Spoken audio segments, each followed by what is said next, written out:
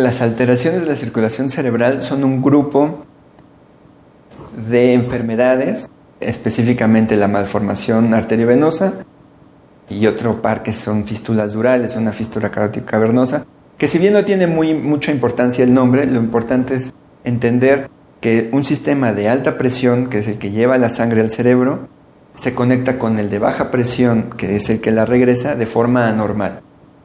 Y esto genera que se pueda romper dentro del cráneo, que genere una hemorragia cerebral y esto conlleva una posibilidad de enfermarse o de dejar secuelas muy importantes.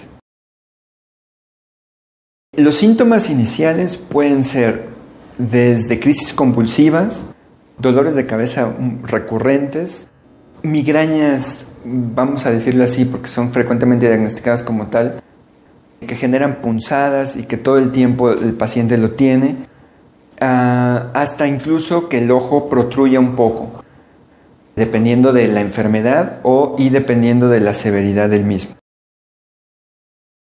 Se diagnostica mediante una tomografía de cráneo con contraste, una angiotomografía, bien una resonancia magnética o una angiografía cerebral. La angiografía cerebral tiene la particularidad de que es un estudio dinámico, es decir, se muestra toda la circulación a través de un video y los otros métodos son imágenes estáticas, son fotografías.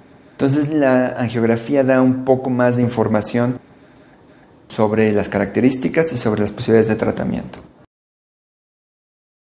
Dependiendo igual de la localización, hay em, zonas que son muy accesibles quirúrgicamente y sería una buena opción, pero básicamente está dividido en tres. La cirugía convencional, que es abrir el cráneo, llegar al sitio donde está la malformación y, quitarla eh, poco a poco. el tratamiento endovascular, que es punzar una arteria en la región inguinal, subir una serie de tubos llegar al sitio donde está la malformación o la alteración de la circulación y rellenarla con alguna sustancia como un tipo de plástico o algún tipo de pegamento e irla cerrando poco a poco.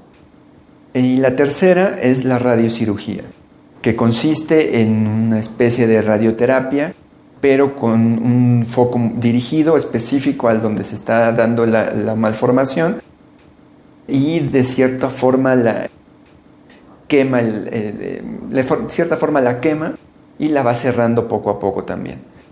Y existen los tratamientos combinados, el endovascular con la radiocirugía o el endovascular con la cirugía convencional.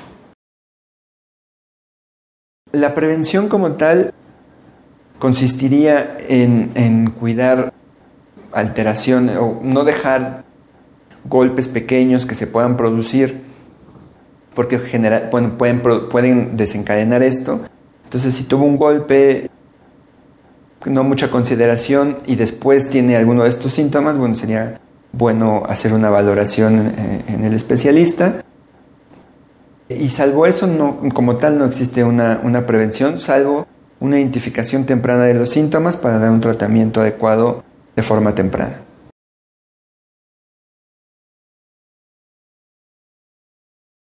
¿Quieres una segunda opinión? Ingresa a la aplicación Medicable, busca al médico más cercano de la especialidad que necesitas y listo. Medicable App, un mundo de posibilidades para tu salud, disponible en Google Play y App Store.